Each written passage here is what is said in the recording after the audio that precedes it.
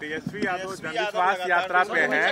इस दौरान सिवान में गए तो उनके मंच पर मोहम्मद कैफ उस बंटी दिखे जो शार्प शूटर माना जाता है। कई मामलों में जेल भी गया कई गंभीर आरोप उस पर हैं जिसपे हत्या के मामले भी हैं उस पर आरोप है। और तेजस्वी के साथ मंच पर वो दिखा है सर वहाँ पर साबुद्दीन का कथित सहयोगी माना जाता है। पंद्रह वर्षों का जो आरजेडी का इतिहास रहा जा करके है क्या था? अपराधियों का राज था बिहार में जाकर के फिर से उसकी पुनरावृत्ति हो रही जाकर के जैसा सिवान के सभा में बताया आपने जाकर के है, एक खूंखार अपराधी, जो एक पूर्व मुख्यमंत्री के साथ मंच पर दिखा है जाकर के, ये काफ़ी दुखद जा करके है और वैसे आरजेडी का इतिहास ही रहा जा करके है, पंद्रह वर्षों में बिहार को अपराधियों के हाथों में डाल देने का काम किया था।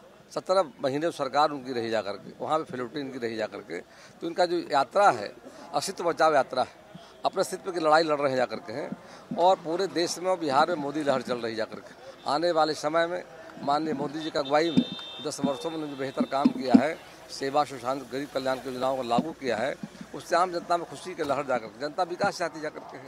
और मैं मानता हूँ, माननीय मोदी जी का दस वर्षों का शासनकाल जो है, स्वर्णिम काल है, गोल्डन पीरियड रहा जा करके तो निश्चित तौर पर आने वाले समय में जो आपने कहा है कि उनके मंच पर अपराधी दिख रहे हैं जा करके हैं, बिहार की जनता जानती है, इन सबों का इतिहास रहा है।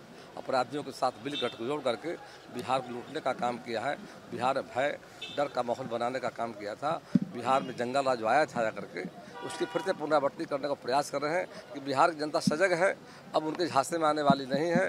फिर से बिहार में आएगी तो 2024 के चुनाव में पूरी की तरह 40 सीटों पर एनडीए के प्रत्याशी विजयी होंगे। नरेंद्र भाई मोदी की सरकार 400 के पार देश भर में होगी। अच्छा अभी ग्राम रक्षा दल के सदस्य प्रदर्शन कर रहे थे बीजेपी ऑफ़िस पर। नियमित वेतनमान और परमानेंट नौकरी की मांग कर रहे हैं तो लाठी चार्ज हो गया उन लोगों सर वैसे उनको संवाद करना चाहिए था और हम लाठीचार्ज के पक्ष में हैं नहीं। यदि कोई कानून को हाथ में लेगा तो पुलिस की मजबूरी होती है। उनको उनको चाहिए था, बात करना चाहिए था।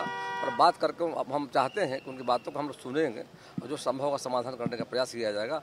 और लाठी चला जो गया है, उसको अच्छा इसलिए हमारा पता लगा लगाते किन कारणों से लाठी चलाई गई जा करके। लोकतंत्र में सबको अधिकार में बातों को रखने का है। हम बात सुनना चाहते हैं, जो संभव का सरकार उनके लिए करेगी।